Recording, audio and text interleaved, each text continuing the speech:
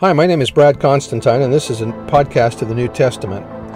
I'll be using as the text the King James Version along with the Joseph Smith translation. Although this is not an official recording of the Church of Jesus Christ of Latter day Saints, every effort's been made to be as doctrinally accurate as possible. I'll also be using quotes from general authorities of the Church, the apostles and prophets, and BYU professors and others, and uh, every word out of the scriptures themselves. So if you're ready for a really detailed analysis of the New Testament, you've come to the right place. Welcome. Hi there, welcome back. This will be for Colossians chapter 2. The heading reads Fullness of Godhead dwells in Christ. Beware of deceit by traditions of men. The handwriting against us was nailed to cross of Christ. All right, verse 1 For I would that ye know or I would that ye knew what great conflict I have for you, or anguish, and for them at Laodicea, and for as many as have not seen my face in the flesh, that their hearts might be comforted, being knit together in love, and unto all riches of the full assurance of understanding, to the acknowledgement of the mystery of God and of Christ, who is of God, even the Father in whom are hid all the treasures of wisdom and knowledge. And this I say, lest any man should beguile you with enticing words. For though I be absent in the flesh, yet am I with you in the Spirit, jo- joying and beholding your order and the steadfastness of your faith in Christ. As ye have hither as ye have therefore received Christ Jesus the Lord, so walk ye in me, rooted and built up in in him, and established in the faith, as ye have been taught, abounding therein with thanksgiving.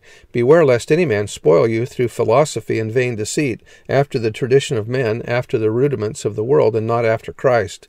What he's telling them here is to study the scriptures. Don't let the philosophies of men lead you astray. Joseph B. Wirthlin said, Jesus Christ is infinitely more than a great teacher and philosopher. As part of the plan, Jesus offered to atone for the sins of all mankind and bear the suffering of those sins, satisfying the law of justice if the sinners repent. He also offered his mortal life, was crucified, and became the first to be resurrected, making possible the literal resurrection of all of our Father's children. He is our mediator with the Father and our exemplar in all things. His loving kindness doing or toward us is beyond our comprehension. Verse 9 For in him dwelleth all the fullness of the Godhead bodily. In other words, Christ does not lack anything, and ye are complete in him, which is the head of all principality and power. In other words, Jesus' grace is sufficient. Christ can solve our problems much easier than we or the world can.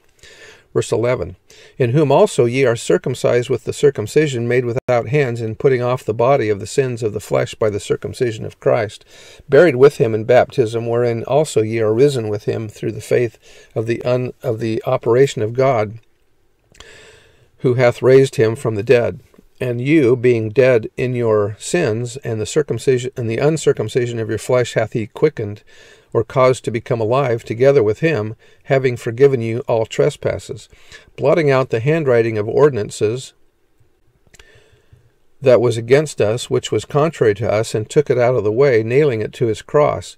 And having spoiled principalities and powers, he made a show of them openly, triumphing over them in it. Let no man therefore judge you in meat or in drink, or in respect of any holy of, of an holy day, or of the new moon, or of the Sabbath days, which are a shadow of things to come, but the body is of Christ. Let no man beguile you, or your reward is in a voluntary humility and worshipping of angels, intruding into those things which are not seen, vainly puffed up by his fleshly mind. Remember, I said in the beginning that uh, these people were worshiping angels. Anyway, that's what he's mentioning here. Verse 19, and not holding the head, from which all the body by joints and bands, having nourishment, ministered and knit together, increaseth in the, with the increase of God.